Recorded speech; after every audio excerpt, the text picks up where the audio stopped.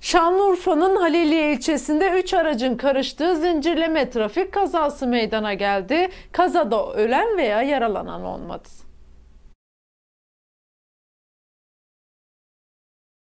Kaza Şanlıurfa'nın Haliliye ilçesi Büyükşehir Belediyesi'nin önünde meydana geldi. Edinilen bilgilere göre seyir halinde olan 3 otomobil zincirleme trafik kazasına karıştı.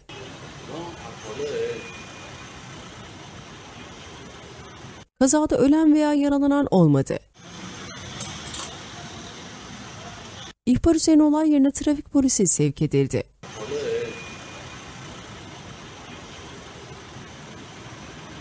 Kazaya karışan araçlarda maddi hasar meydana geldi.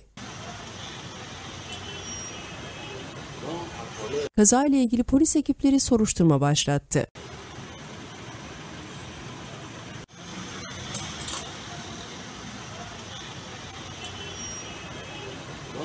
boludo.